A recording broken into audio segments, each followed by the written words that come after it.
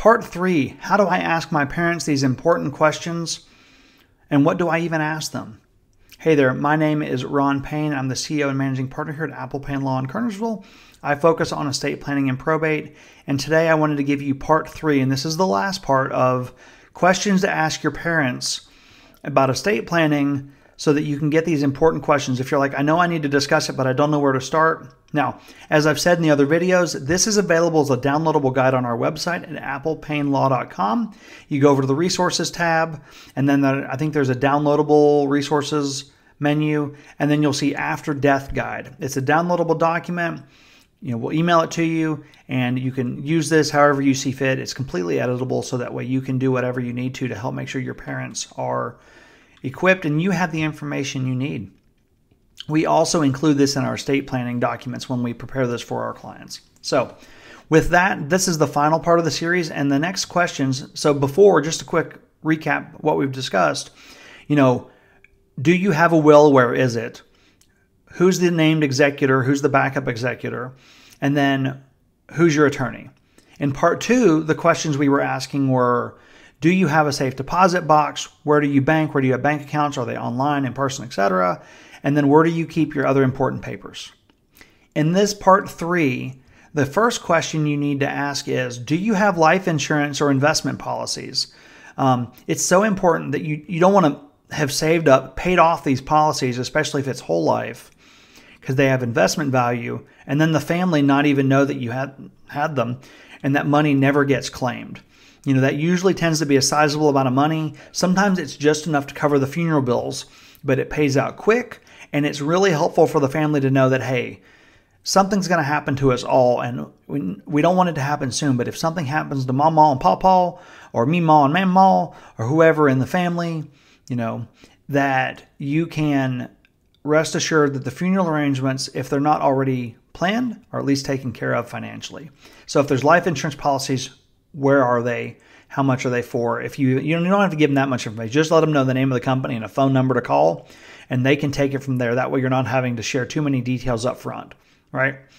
Um, the next questions um, is who do you want me to notify, mom and dad, when you pass? Like, I know I need to notify my siblings and you know immediate family, but is there anybody else that maybe is really close to you um, old longtime friend from high school that maybe I don't know that you want me to make sure that they find out you've passed away.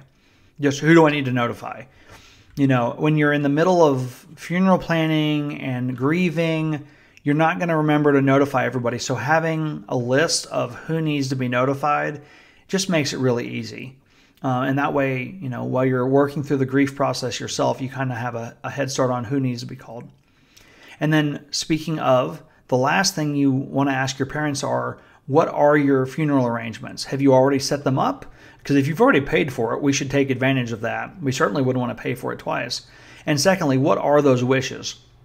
Now, a lot of times with estate planning documents, I tell my clients, look, you don't have to share all of your wishes with the whole family. It's not their business, and frankly, you might change your mind. I do think it's important to let the family know and to ask your parents, what do you want when you pass away?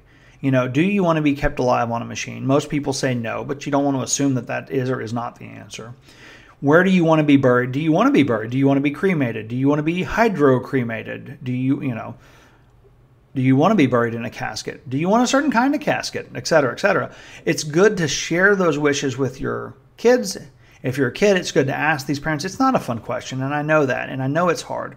But at the end of the day, everybody really wants to make sure they're honoring their wishes. And if different children have different stories, um, it's really hard for everybody to be sure about the same page. And then we already get off during a very emotionally difficult time on the wrong foot with each other because now you told me one thing, but they say they know another, and we don't trust each other, and we're already at each other, and it's, you know, and that's not what any of us want.